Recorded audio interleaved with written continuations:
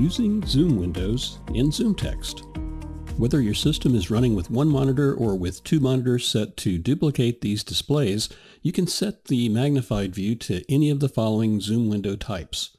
Full, Overlay, Lens, Line, and Docked either at the top, bottom, left, or right. There are three different ways to select a Zoom window.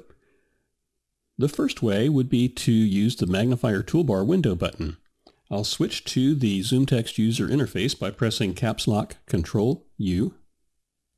Windows ZoomText Magnifier Reader. Zoom Windows Group Box Zoom Level 1.2 Spin Box. On the Magnifier Toolbar tab, select the Window button.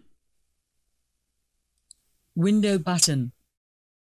Select one monitor or multiple monitors according to your current monitor configuration, and then select the desired Zoom window type. One monitor.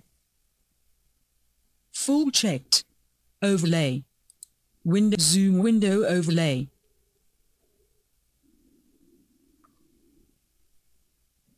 Tooltip window, caps lock plus one monitor. Full. Zoom window full. Another way to do this is to use the shortcut keystroke caps lock Z, Z. Zoom window overlay. Zoom window lens. 1 tooltip zoom level 1.1.2 2.25 Zoom window line Zoom window dot bottom. Tooltip win Zoom window dot top. Zoom window dot right. To zoom window dot left. Tooltip zoom level zoom level zoom in zoom window full A third way to select a Zoom window is by opening the Zoom window settings dialog box. I'll click the down arrow on the window button one monitor. and choose settings. settings.